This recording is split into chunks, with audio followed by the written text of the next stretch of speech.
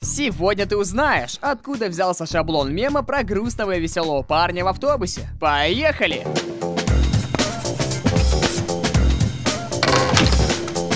«Два парня в автобусе» стал популярным совсем недавно. Он изображает двух молодых людей, они сидят в разных рядах и видят разные пейзажи из окна. Один из парней со счастливой улыбкой видит красивый вид на закат, а другой тем временем хмурится и совершенно несчастно смотрит в окно, из которого видно только поверхность скалы. Оригинальное изображение было взято из произведения бразильского карикатуриста по имени Генильда Рончи, который загрузил это произведение искусства на свой веб-сайт 24 августа 2013 года года. Я заглавил на португальском, иногда это зависит только от нас. А оригинальное изображение содержало еще один фрагмент текста, который переводится как «Выбери счастливую сторону жизни». В 2019 году картинку превратили в мем. Тренд зародился в бразильских соцсетях. Все началось с пользователя Твиттера, который подписал картинку следующим образом. Не курит сигареты, курит сигареты. Курение зло. В таком виде шаблон просуществовал два года, но не стал сильно популярным. Однако в 2021 году тренд возродился. В апреле его вновь подхватили испаноязычные пользователи Твиттера.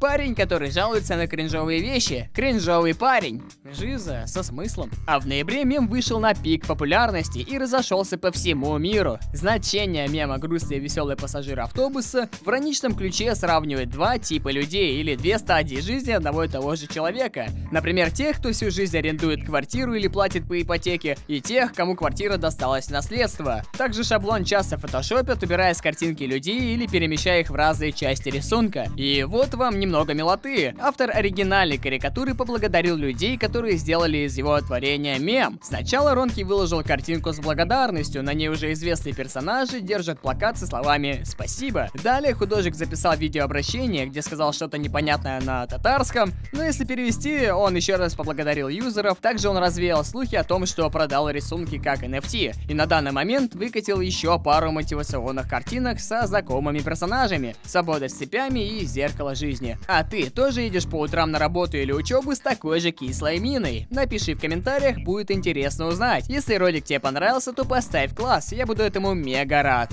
На этом все. Пока!